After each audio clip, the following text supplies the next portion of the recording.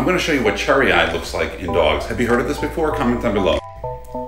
So this is Yuki, how cute is she? And as you look, right on her eye there, on her left eye, right at the medial canthus, is a prolapsed nictitating membrane there. It's called a cherry eye. So the only way to go about doing these things is surgery to correct them. And they do really well too.